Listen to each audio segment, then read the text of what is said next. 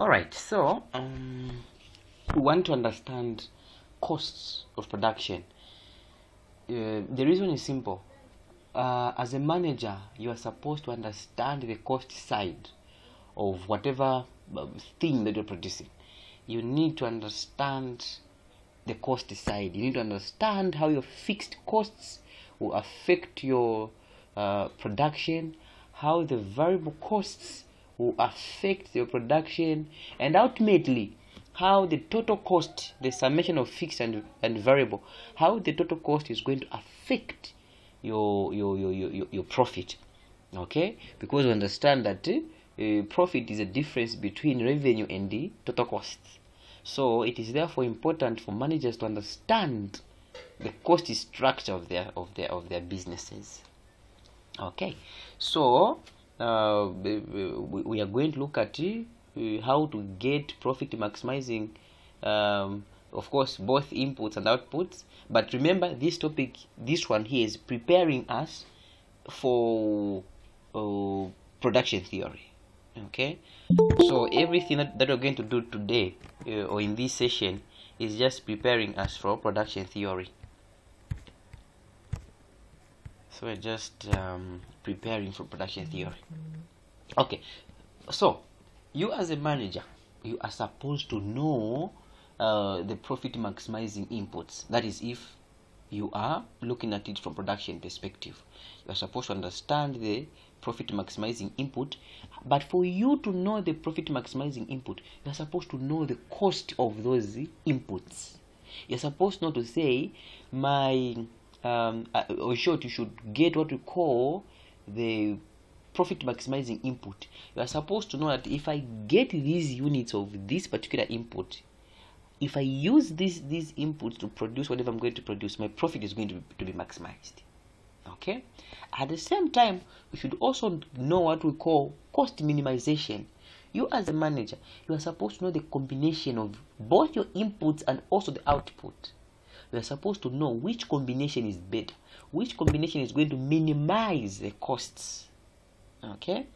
And then there is also what you call the short run and the, the long run. So i'm just you know introducing the topic. There is what we call the short run and the, the long run. Okay? So um i thought someone was trying to enter. Oh. Okay.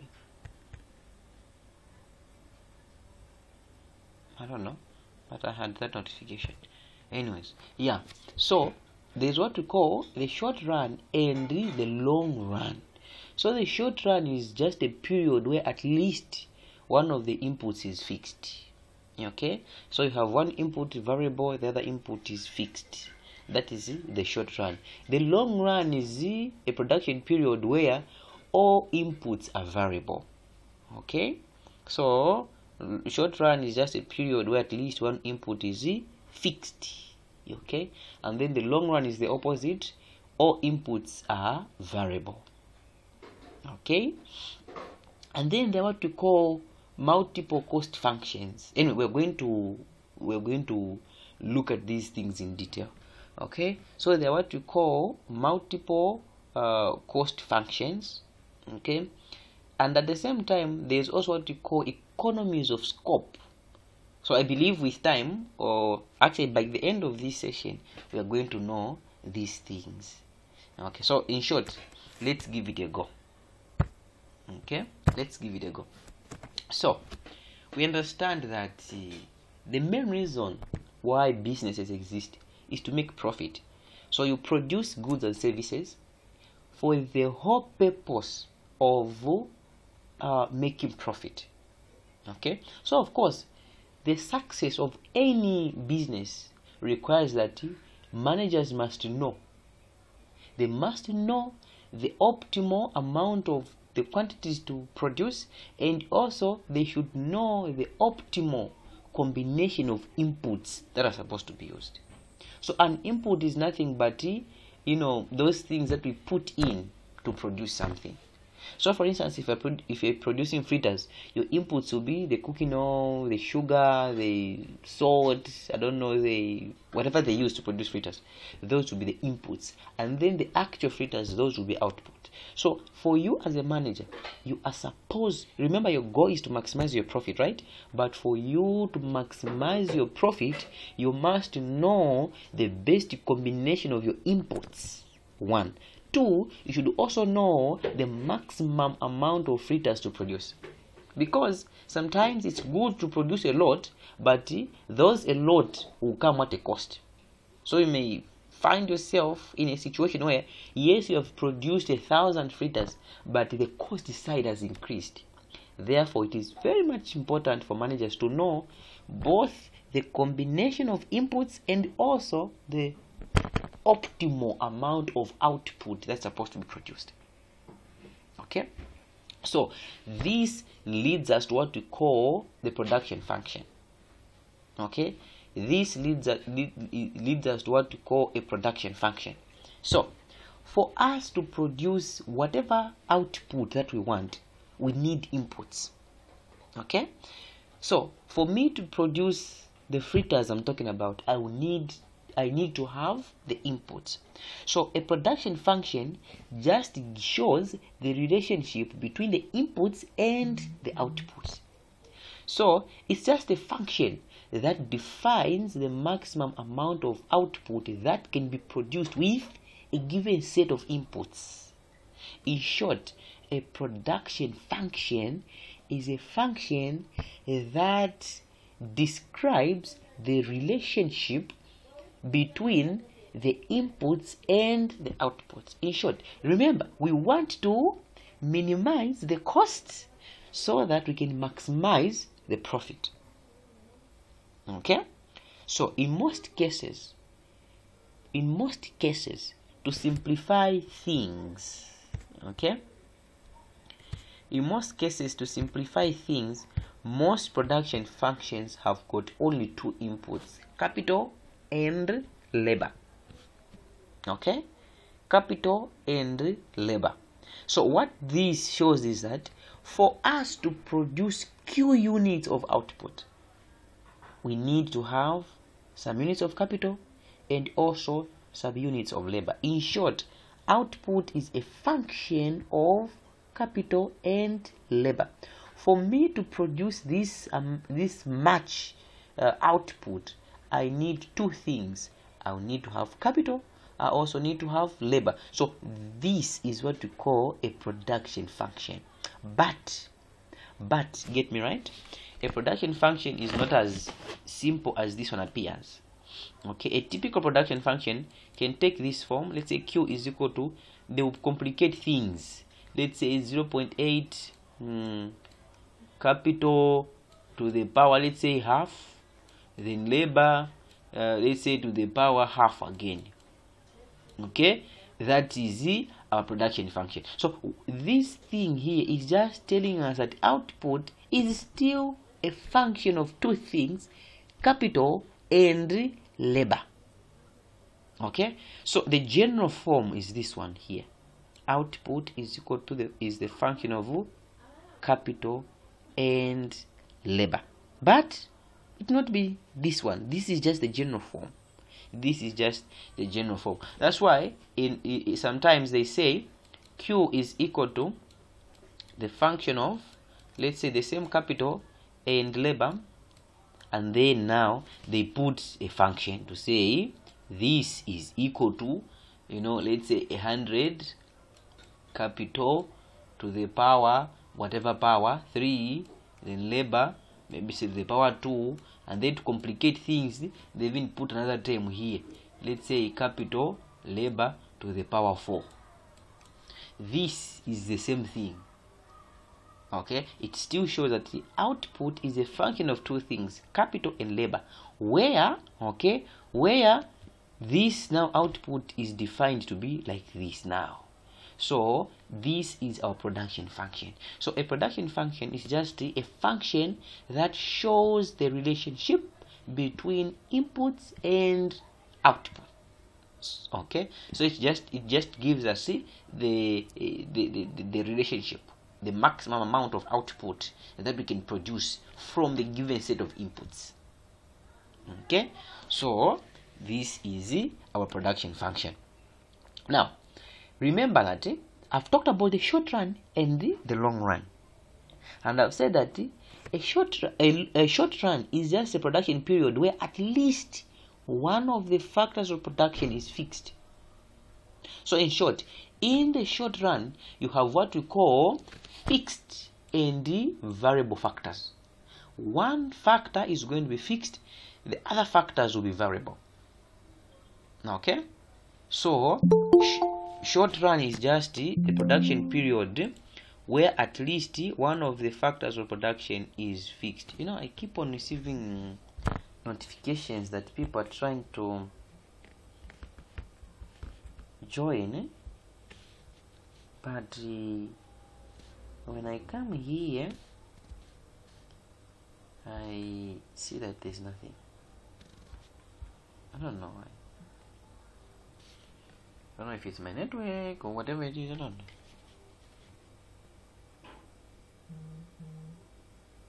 Um, okay, let me just log out and join again.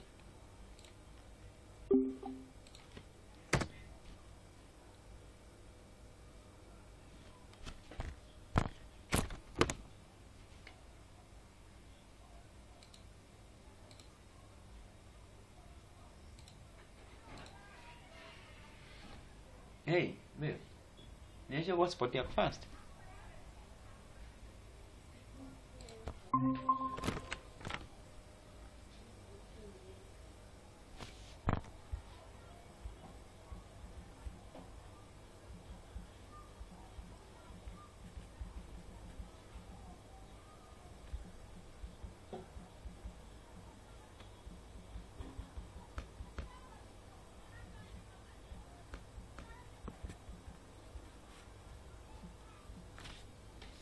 Is it on?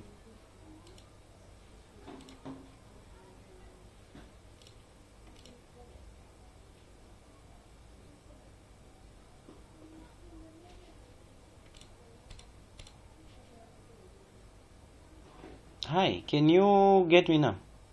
Yes, we can hear you.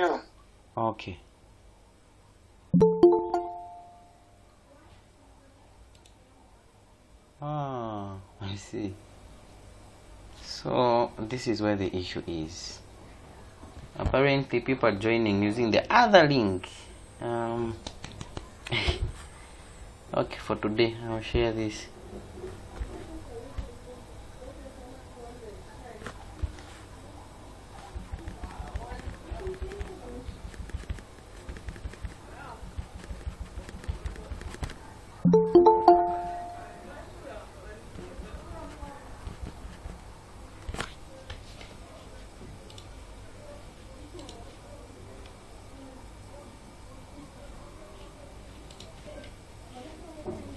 Uh, the best solution is to, to continue to continue forwarding the, the, the link which we are using because some people may use other odd links. So always when we have a meeting, it's better you just forward it to the to the group, the actual link. Yeah, I think that one is going to help us. Okay, yeah, I will surely be doing that. Okay, yes. So, we're talking about the, the, the short and the long run.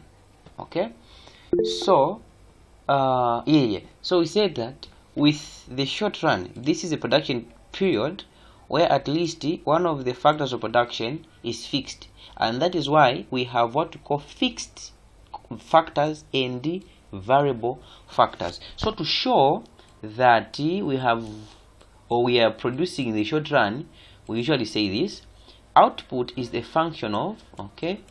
So let's say capital labor, but then here on top of capital we put a bar. This is showing us that well, this output I'm producing this out output of course. we're not presenting. I'm not presenting. Uh oh, that's that's sad. That's sad. That's sad. That's sad.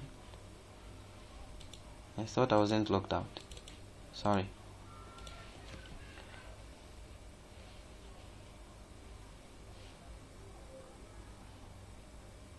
Okay, can you see the, the, the slides now? Yes. Okay, thank you. Oh, okay. Yeah, yeah. So let me repeat. So we have short run and long run. So the short run is a production period where at least one of the factors of production is fixed, right?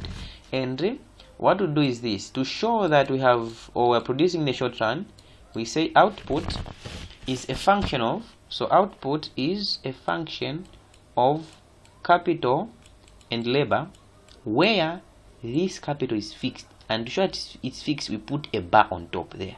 We put a bar on top. This shows that uh, capital is fixed. And what it is is this. In in in the in the short run it's difficult for you to change the amount of capital that you have but it's easier for you to change the amount of labor that you have okay? Assuming that you are this firm that is into mining for instance it's difficult for you to change your you know your your equipment and all those things you know it takes time. Okay? But it's easier for you to hire extra units of labor or to lay to lay off some units of labor. That is the reason why capital is always fixed in the short run. Okay? And the labor is uh, labor is variable. But again they usually ask this funny question to say uh, how long is the short run? Okay? How long is the short run? So there is no specific time frame for the short run. As long as during your production period you have one factor which is fixed you are in the short run it can take years. It can take 20 years. As long as one of your factors of production is fixed you are still producing the short run. So there is no specific time frame to say no the short run is equal to two weeks. The short run is equal to one day. No no no no no. There is nothing of that sort. Okay? So the short run is just a time period where at least one of the factors of production is fixed. So this will go on and on until all your factors are variable. Then you cease from producing in the short run then you go to, produ- to producing in the long run. Okay? So please please please please. Okay? So the short run is defined as the time frame in which there are fixed factors of production. Okay? We have fixed factors of production. So at the same time you should have fixed at the same time you should also have variable. Because the short run is a time frame where at least one of the factors of production is fixed. Yeah okay. Where at least one of the factors of production is fixed. Okay. Yeah yeah so to illustrate this let's assume we have capital and labor. Okay as the only two inputs in the production yeah.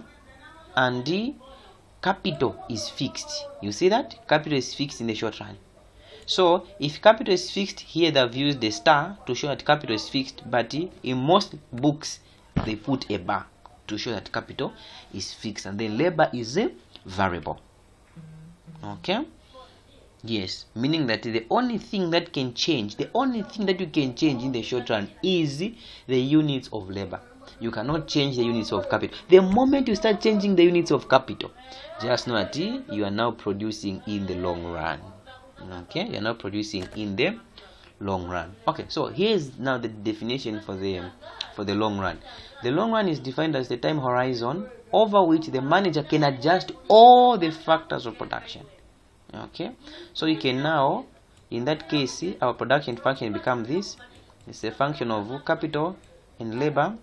Okay you see there is no bar on any of the factors okay? So this shows that both capital and labor are variable. You can change the units of capital you can also change the units of labor. This can only take place in the long run. It is only in the in the long run where you can change the units of both inputs capital and labor. In the short run at least one of these must be fixed. And in most cases it's capital that is fixed. Okay?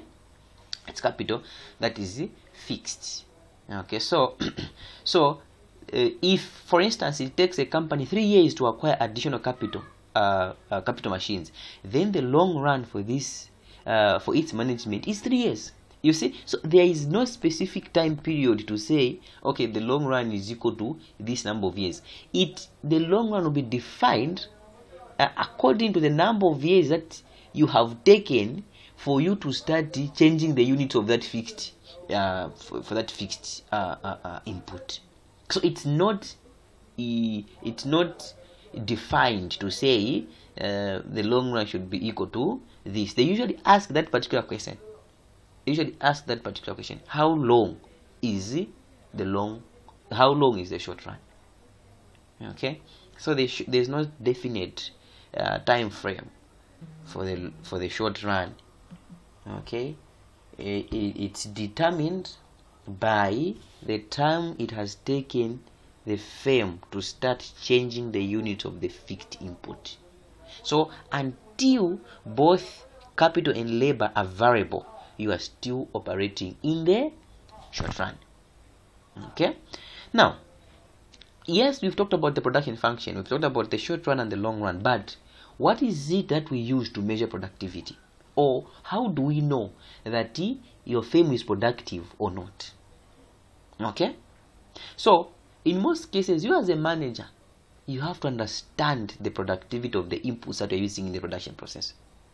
You need to know that, you need to know that okay if i have capital and labor i'm going to produce this much because i know that these units of labor and these units of uh, capital will give me this level of output. In short you must be able to know the productivity of the inputs that you're using in the production process. Okay? So now we are moving or we are, we are, we are integrating uh, or we are now shifting from you know the production function to these three measures of productivity that we use. Okay? So the first one is what we call the total product. So you as a manager for you to know the productivity of your inputs pay attention to the total product. How what is the total product that you are able to produce from the given inputs that you have? That is going to tell you uh, whether or not these inputs are productive. Okay?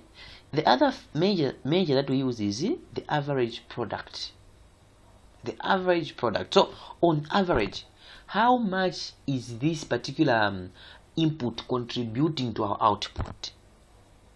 Okay?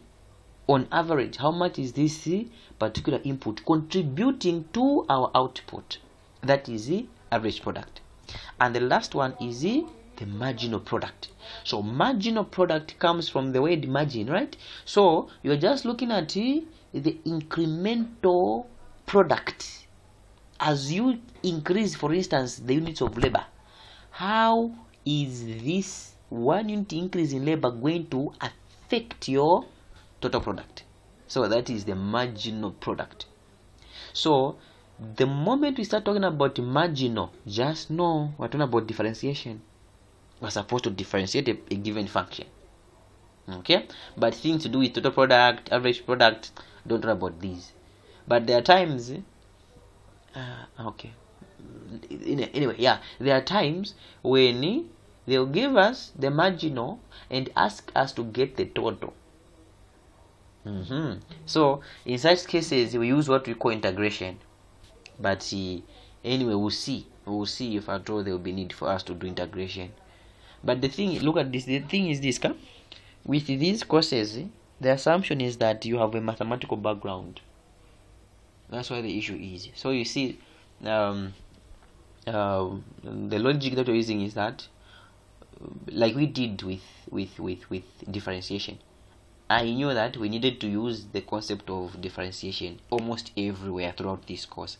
So that's why we had to do the background phase we had to do integration sorry differentiation and then after i confirmed that people have understood the concept that's when we moved on to start applying the differentiation. So anyway yeah if there will be need for integration we'll see yeah we'll see. Okay so these are the three measures of productivity that we use. We have the total product we have the average product and then we also have the marginal product. So we use these three to measure the productivity of our inputs. Okay we use these three. So now let's try to put some definitions to these three measures of productivity. The first one is the total product. Okay? So with total product we are just looking at the maximum amount of output that we can produce from the inputs that we have.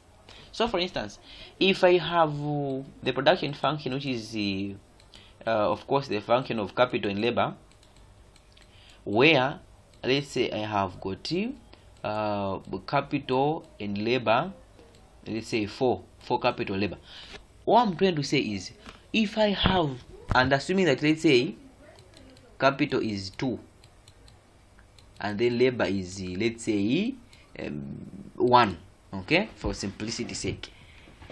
What total product basically uh, tries to explain is if you have this production function and then you have got two units of capital and a unit of labor how much uh, output can you produce? Okay? So in such a case just get these values plug them in the production function and find the, the value of q. That is going to give you the total product. That is going to give you the total uh, uh, uh, uh, product okay. That is going to give you the total product. So total product is just the, the maximum amount of capital and labor. Okay? So what does it say? total product is just the maximum amount of output that you can produce from capital and labor. So it's just the maximum output that can be produced from the units of inputs that you have. That is total product. Okay? How about average product? You know in most cases you as a manager you are supposed to know say okay on average okay on average each worker that i have here produces this much. You're supposed to know. On average each capital that i have here produces this much. So we, so when you are thinking in those lines you are using the concept of average product. Okay? So the interest is in the average productivity of an input. Okay? So for instance a manager may wish to know how much on average how much on average each worker contributes to the total output of the firm. You are supposed to know okay so each worker in this particular firm each worker in, in, in this business contributes this much to the total, output. So that is the concept of average product. You are looking at you know on average how much is each worker how much is each worker contributing to total output of the firm. Okay? So how do we get the average? So average product is just the total product divided by whatever unit whatever uh, factor that you have. So let's say it's average product of labor. So average product of labor is output per labor which shows that eh, how much is each unit of labor contributing to the total level of output. Okay? If it was the average product uh, of capital it would have been the same thing. We say output per units of capital that we have so it's output per unit of capital okay? Output per unit of capital if it's labor it's output per unit of labor which means we are trying to understand this from the average point of view. We want to understand on average how much is each unit of labor contributing to the, to the level of output? On average how much is each unit of capital contributing to the total level of output so that is with average product. Okay? That is with the average uh, product. Okay? And then the other concept is that of marginal. Okay? The other concept is that of marginal product and this is where now we apply differentiation. So the marginal product is just you're just trying to measure if i increase my input by one unit what will be the impact of this on total product? In short we are trying to understand the marginal impact of this increase in un in, in, in the units of uh, input on total uh, product. How much is my total product going by how much is my total product going to change? If i change uh, my units by one uh, sorry if i change my inputs by one unit. That is a marginal product. So marginal product is just the, the change in total product due to a change. Let's say it's margin it's marginal product with respect to labor so it's, it's going to be change in total product per change in labor. So in short you are just differentiating the um, yeah the output function with respect to oh no no. Yeah, yeah. total product yeah? Mm-hmm. you're just going to differentiate them. So it's the change in total product. Okay? It's the change in total product per change in labor which is just this one here. Okay?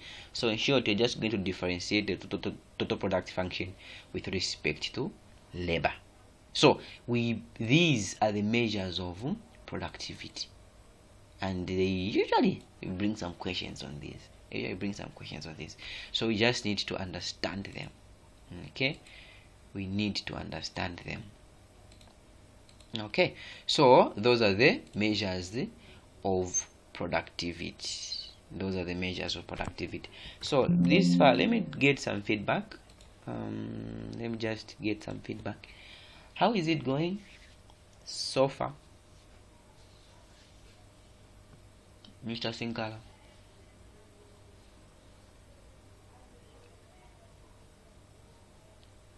Oh you can't get me.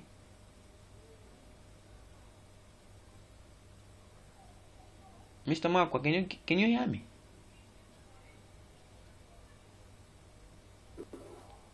Yes, I can hear you. oh okay So far, so good. Okay, perfect. So far, so good. Okay, that's good. That's good. That's good. All right. So, mm, yeah. So with this table here, we're just uh, trying to understand the same concept, the same concepts we have discussed. So I've got units of capital here. I've got the units of um, uh, labor here. And then we have the change in labor here okay so we are saying that if we have got a unit of capital 2 okay then we have uh, so as you can see The, the, the presentation is not uh, visible on my side. I don't know about others. Okay, now it is visible. oh okay okay okay okay okay yeah, yeah so i was saying that as you can see here so just from sometimes what they do is this. They can bring a table like this one and then now fire us with questions. A lot of questions can come from this table. Okay? So the first question could be from this table um explain or is it does this is this film producing in the short or the long run? Just from this table we're supposed to tell that this firm is producing in the short run. Why? Because um, the, the the value of capital is fixed throughout. Throughout the production period capital is fixed is two throughout which means that the value of capital is not changing. Therefore since one of the factors is fixed we are producing in the short in the short run. Okay? As you can see for labor it's changing throughout the production period labor is keeps on changing which means that we're producing in the short run because capital is fixed. Only labor is variable. Okay? And since only labor is variable then now we can be talking about the change in labor. The change in labor. Okay? So check this out. Um, capital is fixed labor is changing. So uh, since the value of labor here is zero which means there will be no change whatsoever. No wonder that there's a dash there. It shows that there will be no change whatsoever. Okay? And since uh, since uh, labor is uh, labor is uh, zero okay? And the capital is two we know that at the end of the day the value of output is going to be zero throughout. So here output is zero even the change in capital oh, sorry the change in output due to change in labor which is the marginal product with respect to labor is going to be zero because labor has not changed. So if you're producing in the short run listen to this. If you're producing in the short run don't expect to start uh, Uh, looking for the marginal product with respect to capital. Why? Because capital is fixed. So capital cannot change. You cannot find the marginal product of capital. Why? Because capital is a fixed factor. It does not change throughout the production period. Okay? So in case, you know, sometimes they just try to test our understanding, they may bring such a question. Is it possible from this table to calculate the marginal product with respect to capital? Okay? And then you have to defend it. Okay. Since we're producing the short run and capital is fixed then there is no need for us to start looking for the marginal product with respect to capital because capital is fixed throughout the production period. Therefore we cannot expect to see a change in capital okay? So the only thing we can start looking for is the marginal product with respect to. Okay? With respect to to to labor. Okay? And then the other thing is the average. The average. So we have average product okay which is the output per labor. So we have the average product with respect to labor okay? So what we are saying is that given that we have got capital fixed labor which is changing and then you have got the change in labor which is throughout one one one one one labor is increasing by a unit. So as you can see from one to 2 2 to three until 11 so which means that the change in labor is one throughout. Okay?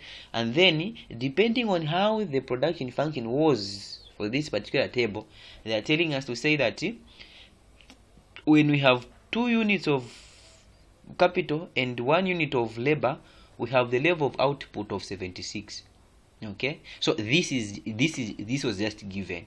We don't know the production function which they used for them to get this uh, value here these values sorry these values.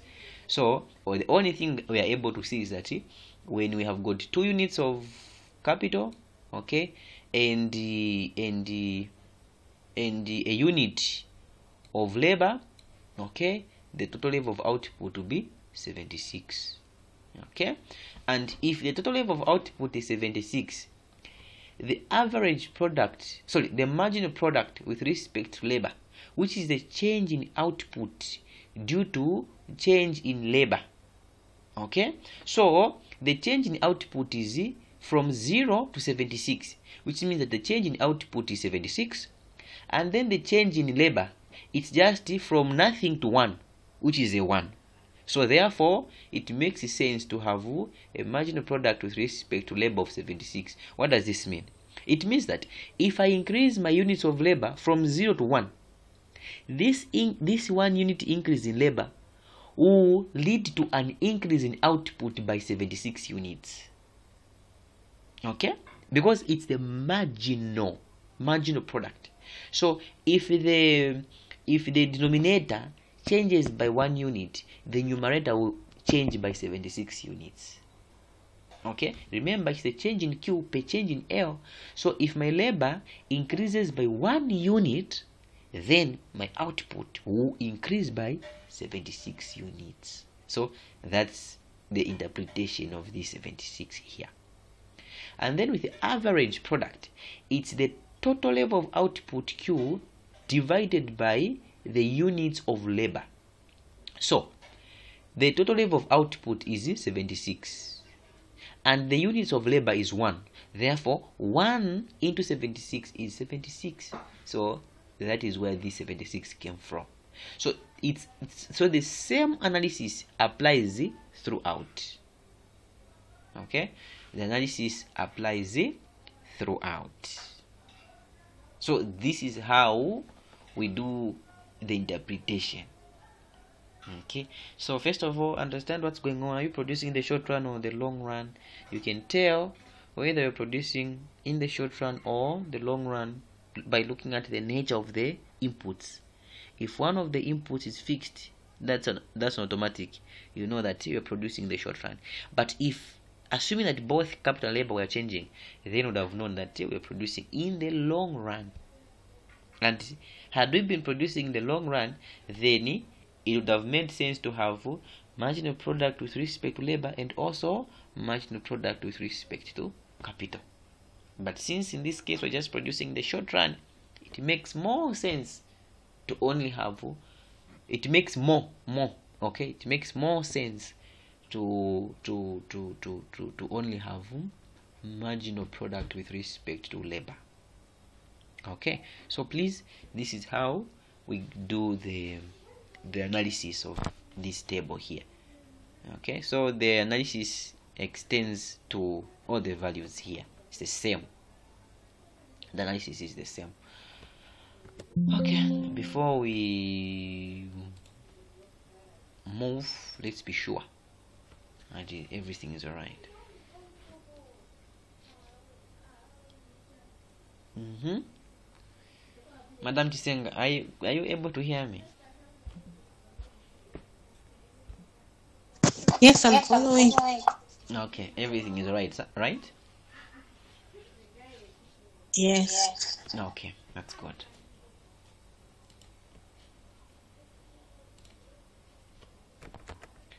Now how about the graphs? And ish they just love these things they just love graphs. They'll give us graphs they'll give us functions so that we can do sometimes they'll give us a function tell us to, to, to do a graph from the results of our calculations. Okay? So don't worry we're going to look at all those questions. We're going to try by all means to sample a lot of questions just as i promised that we're going to look at past papers sample and past papers we solve these questions we solve these questions. That's why my target is we finish these slides and then towards the exams let's say a month or so before the exams we just concentrate on solving the past papers. Yeah we just concentrate on solving the past papers solving the past papers dealing with the questions you know familiarizing ourselves with the, the questions. That is really going to help us okay how about the graphs now? So we have total product average product and marginal product on the y-axis.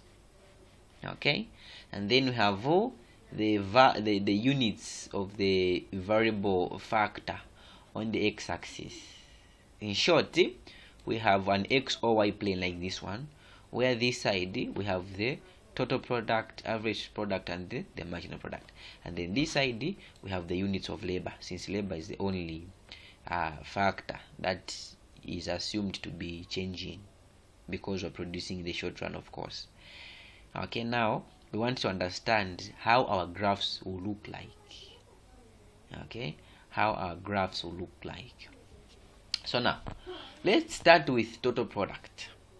Then we can talk about the average and the the marginal. So with total product total product and oh yeah, yeah one thing worth mentioning. We need to be paying attention to where the graphs are starting from. Okay? We need to be paying attention to where the graphs are starting from. So the total product function sorry the total product graph or curve will only start from the first unit of labor. Why? Because if we if we for instance assume that we have a production function which looks like this. Output is equal to uh, let me just use the table. Uh-huh. the table our table here. Remember that we only witnessed an a, a positive uh, amount of output when we had labor equal to 1 okay? We only witnessed a positive output. Or moreover eh, anyway let me not even say a positive output because output should always be positive. There can never be negative output. So we have we we, we have 76 okay? When labor is 1 when labor is 1 and that's when we had our level of output 76 when labor was zero there was nothing. There was zero units of output. So in short total product measures the, level of output that you are able to produce from the given units of inputs. Therefore it makes sense for the total product curve to start from or to start at labor equal to 1 so when labor is equal to 1 we have that level of output. In short this graph this graph we are seeing here has been derived from this table. Okay? So they are just plotting. When labor is 0, what is the uh, uh, output is zero. When labor is 1, output is 76 when labor is 2, output is 248 just like that. Until uh, until when labor is equal to 11 output is 2156 so that's how this uh, graph here uh, came to be.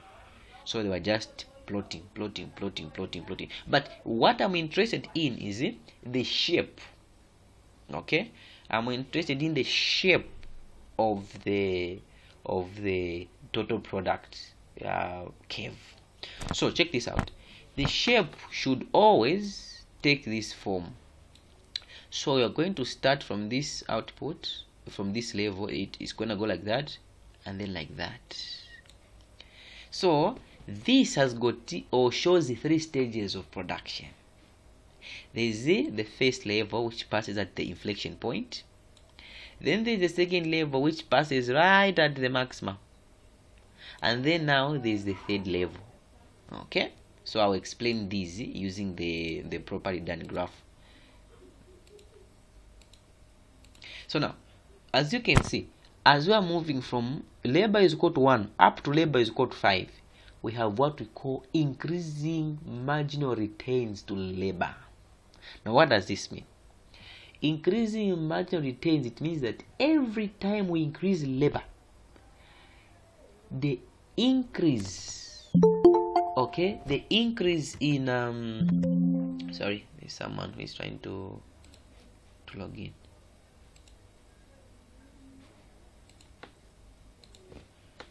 so what we are saying is that as we are increasing our, our units of labor from labor is equal to one or uh, yeah as we are increasing okay until at a point where labor is equal to 5 each time we increase the units of labor by this unit there is an increase in our um, our, our, our, our, our, our total product okay? So we increase labor by one unit there is an increase in output. In short our output is increasing at an increasing rate. So it's more like it's increasing from 2 to 5 from 5 let's say to 10 from 10 to 20 from 20 to 40 just like that. So there is increasing marginal returns to labor. So as we are increasing the units of labor of course labor is just increasing by one unit right? You increase labor by one unit output increases by a you know a higher margin you increase labor by another unit output increases by a higher margin just like that. So that is what we call increasing marginal returns to labor. Okay? So that's what we call increasing marginal returns to labor. So what we are seeing is that in the first stage of production we have what we call increasing marginal returns to labor. Now if we go to our um, to our table okay? If we go to our table you can see that from labor is equal to 1 up to this point here. Labor is equal to 5 okay. Let's look at the behavior of marginal product. So first of all total product was at 76 then you increase labor by one unit you have jumped from 76 to 172 you increase labor by another unit you have jumped from 172 to 244 okay? You increase labor by one unit it has jumped from 244 to 292 until uh, you reach at 316 so from labor is equal to 1 to somewhere up to a point where labor is uh, 5 okay? Uh, you have increasing marginal returns. You have increasing marginal returns. Oh, okay yeah. So when you, you you increase yeah, yeah it was supposed to, to use this one. You increase labor by, by one unit you have 76 right? Another one you have 248 another one you have 492 another one you have 784 i was supposed to analyze using this this column sorry. Okay? So in short throughout this production period as we are increasing labor from yeah, yeah up to the fifth unit. The increase in total product as a result of this one unit increase in labor is by a higher margin. So you have what we call increasing marginal returns. So in the first period you have increasing marginal returns. Now from labor is equal to 5 until labor is equal to 10 in short you are moving from this point to the maximum. You have got what we call decreasing marginal returns to labor. Now as you can see uh, when labor is equal to 5 you have 1100 okay? When labor is equal to 6 you have 1416 in short yes labor is increasing but this increase is at a decreasing rate. Okay? Output is increasing but the, this increase is at a decreasing rate. It's more like let's assume i've got small small numbers here. It's more like labor is increasing let's say when when you're at six let's just use small numbers to avoid this confusion here when labor is six your output is at is at 10 for instance. You increase your labor from uh, 6 to 7 you- yes your output has increased but has increased to, to let's say uh, 15 the difference between 10 and 15 is 5 okay? Again you increase your labor from 7 to 8 let's say that your output has increased from 15 to let's say 17 yes total product has increased from 15 to 17 but look at the increase. The increase is just by two but earlier on it was by 5 so yes output is increasing but it's increasing at a decreasing rate. And that is what we call decreasing marginal returns to labor. With the increasing marginal returns to labor it's more like you increase your labor from 0 to 1 output jumps from 0 to, from 0 to 10 you increase from 1 unit to 2 units your output jumps from 10 let's say to 25 so remember the first increase was, was just by 10 units but the second increase is now by 15 so with increasing marginal returns the total product increases at an increasing rate. But with decreasing marginal returns total product increases at a decreasing rate. So that's the difference between the two that is the difference between the two. Okay? So in the first stage in the first stage we have increasing marginal returns to labor. In the second stage we have decreasing marginal returns to labor. Until maximum. Then just after maximum we have what we call negative now. We have negative where total product is now decreasing.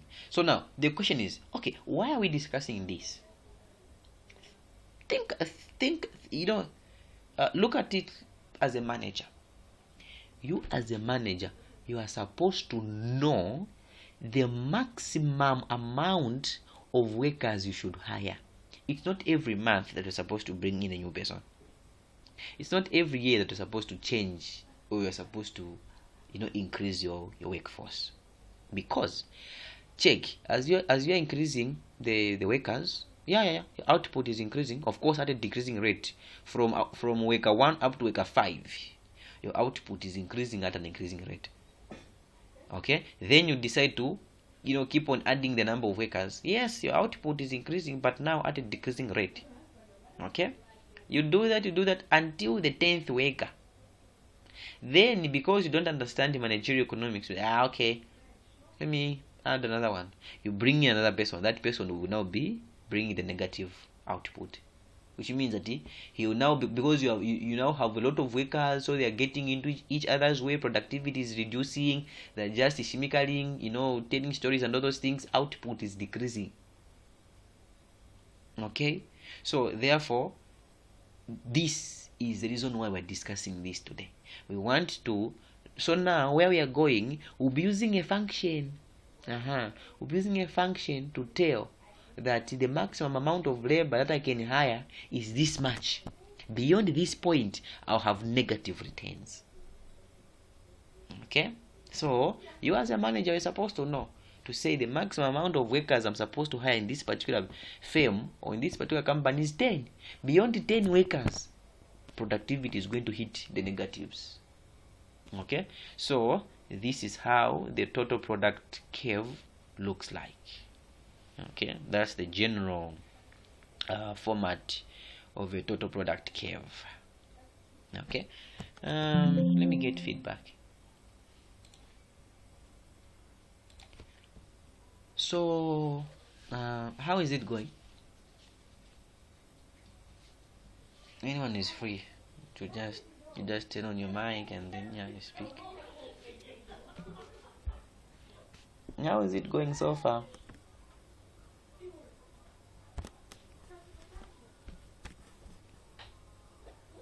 uh-oh madam Tiseng. Uh, sir, your, your explanation is is very good. The only the only uh, the only thing on my part is uh, there are some things that I'm attending to, so I may seem as if I'm not following. But your explanation is good, and I know I will get more clarity with the recording. Oh, okay, okay, okay, okay. Uh, there was something in the messages.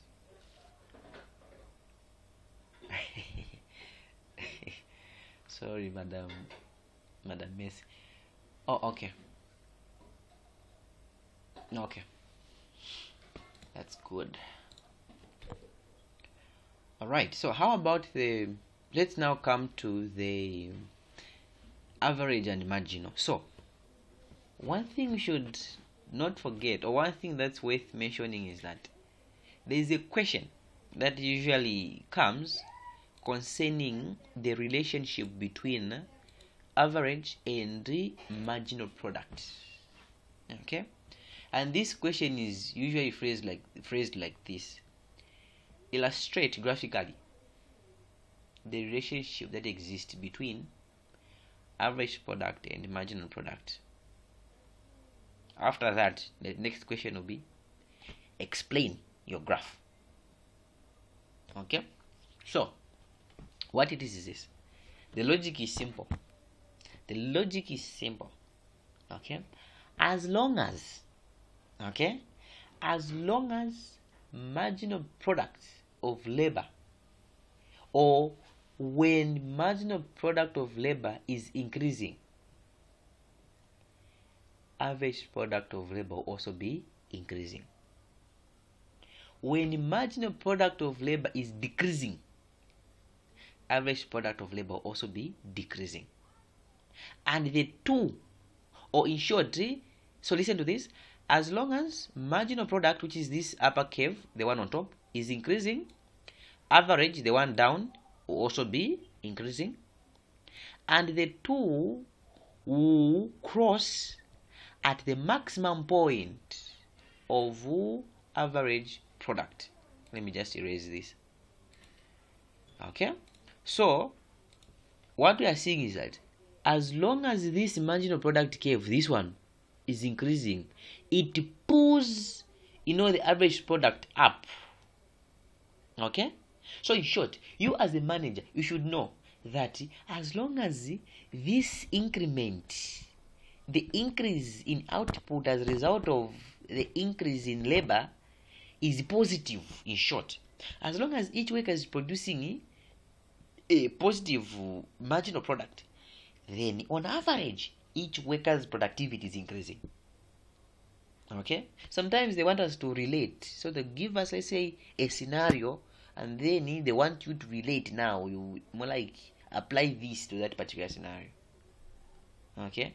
So what we should know is that as long as the, the marginal product of labor is, is, is, is, is above okay? So as long as the marginal product of labor is above average product then average product will also be increasing. Okay? It will also be increasing. And the, this curve the marginal product of labor is going to cross. Okay? In short the, the, the, where, where average product is at maximum okay? Where average product is maximum at that particular point it must equal marginal product. In short uh, we are saying that average product of labor is equal to marginal product of labor at the maximum point of average product. Okay? Which is this point here where the two are intersecting it means that at that particular point they are equal. They are the same. The values are same. Okay so at the maximum point of average product. Okay? So average product is this the here this comma curve okay? So at, at the maximum point of this comma curve which is that particular point. So at that particular point this curve is equal to marginal product. Okay? Oh yeah. Oh yeah. Okay. Yeah. So this is what happens so that is something that we should not forget. In case in case of cases. Okay but i'm pretty much sure that at the moment we start looking at past paper questions all this will come will start making sense. Yeah all this will start making sense because we'll now be you know using the questions to apply the concepts and all those things. Okay? So we have discussed the nature of total product and we have also discussed the nature of these two. So if you want to confirm we are saying that when labor is 7 when labor is 7 marginal product and average product must be the same. Let's co- let's confirm using the table if this is true.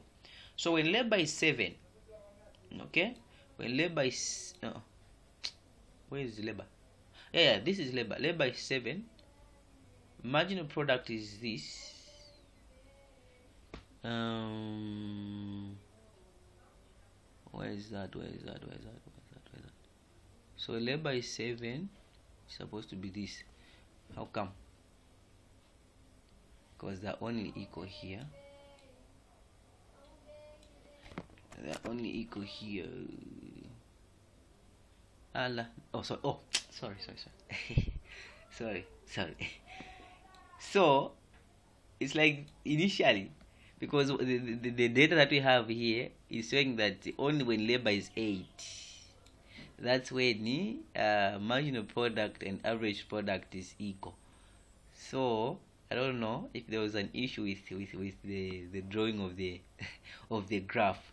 But the actual thing should be uh, at, at that particular point at that particular point these two must be the same. So the 244 and the 244 must be the same which is when labor is got 8 so i don't know why this graph is um, at, at, at is not at parity with the with the with the with the table.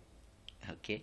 So but the what we should know always is that at the maximum point of the average product the marginal product oh yeah at the maximum point of the average product okay average product must be equal to marginal product. Okay yeah so i think i've just remembered just about now that there's a question that i did when i was in third in third year managerial economics which was coming from this. So i'll just have to look for that question and obviously we should do it with you people here. Then that will also help us do the revision. Okay so we have our total products. We've discussed the nature of the total product curve and we've also discussed the relationship that as long as marginal product is rising okay average product should also be rising. And as long as the marginal product is falling then uh, of course uh, this so as long as this guy is increasing this guy should also be increasing. When he starts falling until the maximum point of average product beyond that point when the marginal product is falling then average product should also be falling. One. Two is that there is a point where these two curves must be equal. And that point is a point where they cross. In short at that particular point where they're crossing they should be equal. They should be equal. Okay? So at that particular point they should be equal. Okay? So oh yeah. So initially it was supposed to be when labor is 8 because when labor is 8 the marginal product with respect to labor is 244 and the average product is also 244 which should be that point there. Okay so i'm just wondering why we have a 7 here instead of an 8 okay so that is what we should not forget all the times at all the times. We shouldn't forget that okay okay cool. So uh when we the moment we introduce cost okay? These two uh, these this graph the mirror image of this graph explains the cost side okay? The mirror image of this graph explains the cost side. So we're going to see that the moment we start doing cost we're going to see that we just flip this graph. Then we'll be, we'll be analyzing total cost average cost marginal cost and all those things. Okay so the phases of marginal returns i think we've, we've explained okay that uh, we have increasing marginal we have got decreasing marginal, and then we have got negative marginal returns. So the range over which marginal product increases is known as the increasing marginal returns. Okay as the usage of labor as we keep on in- increasing our labor increasing our, la- uh, our labor we are going to witness what we call decreasing or diminishing marginal returns. Where yes total product is increasing but at a decreasing rate. Okay? Total product is increasing but at a decreasing rate. Okay? Beyond if we continue hiring more and more workers after some point using additional units of labor actually reduces total product. So you hire an extra person thinking that you know this is going to affect your productivity positively. Alas you end up having a negative product productivity. People now because they're a lot they're getting into each other's way they're fighting you know they're gossiping instead of working. At the end of the day the firm is negatively affected okay and that is what we call the negative marginal returns. Okay that, that's what we call the negative marginal uh, okay so yeah in short we should be able on our own we should be able to do this on our own. Okay like you just get a pen start talking to yourself sometimes. It's it, it helps you start talking to yourself okay so if i have labor here i have total product average and marginal here okay then you do the graphing then you start asking yourself questions you answer them it helps okay so yeah um, mhm. uh-huh. i wanted us to start the cost side which i think we can because this is 20 past 9 so we still have 10 minutes together. So let's let's introduce cost. Yeah i think we can introduce cost in the next 10 minutes. Okay so what we've done so far from the time we started was just looking at you know from the from the output side. Okay from the output side we are the firm supposed to know what your you know total product is what your average product is and what your marginal product is you should also know you know that you, you you can either be producing in the short or in the in the long run you know those things. Yeah in the short run one factor must be fixed and in the long run all factors must be variable you know and that you know from the graphs you should be able to do the total products on your own. Yeah you should also be able to do the average and the marginal try to explain about the relationship. Yeah marginal as marginal is increasing. Average is, is, also, is also expected to be increasing until at a point where marginal crosses the average. Then uh, you know as as margin is dropping average product will also be dropping. Yeah you know those things. Yeah. Then now we are safe to start talking about the cost side of this whole thing. So just like output we said that we've got fixed and variable inputs right? Even under the cost side we have fixed costs and variable costs okay? So we also have fixed and variable costs. In short total cost comes from two factors. There's the fixed cost and also there is the variable cost. Okay? So total cost comes from two. There is the fixed and also the variable cost. So fixed costs are those costs that do not vary with the level of output. It's just fixed. Okay? You pay it once and for all you forget.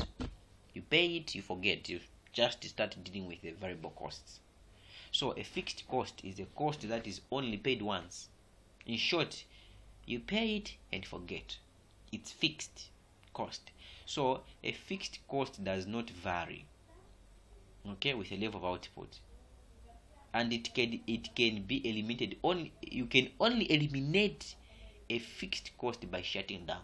You shut down you forget completely with a fixed cost okay? But variable costs vary with the level of output. So the more you produce the more you should expect your variable cost to be.